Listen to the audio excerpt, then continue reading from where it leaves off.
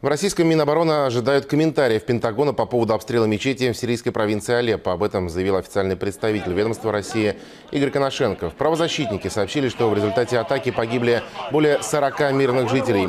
Эту новость перепечатала европейская и американская пресса, причем некоторые, по словам Коношенкова, позволили себе намеки на причастность к случившемуся российской или сирийской авиации. Далее все должно было идти по многократно описанному нами сценарию. Сначала следуют публикации фейковых доказательств преступлений сирийского режима и тех, кто их поддерживает, организациями вроде Human Rights Watch или Bellingcat, а завершается все гневными заявлениями МИДа Великобритании или Франции с требованием немедленно расследовать эти военные преступления. Однако не случилось.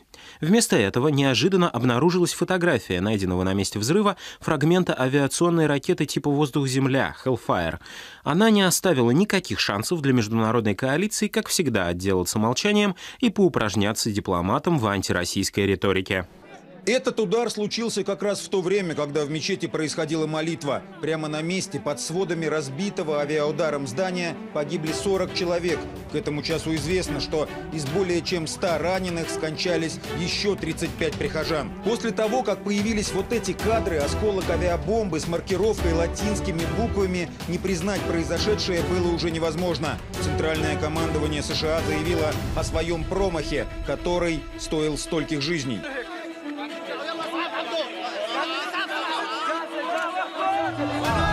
Американские летчики, по заявлениям их командиров, конечно, целились в боевиков. Их совещание якобы происходило в здании, расположенном в 15 метрах от мечети. Однако почему удар решили нанести в то время, когда в непосредственной близости находились сотни мирных жителей, еще предстоит выяснить. Важен уже и тот редкий факт, что американские военные признали свою вину и теперь обещают тщательно разобраться в произошедшем.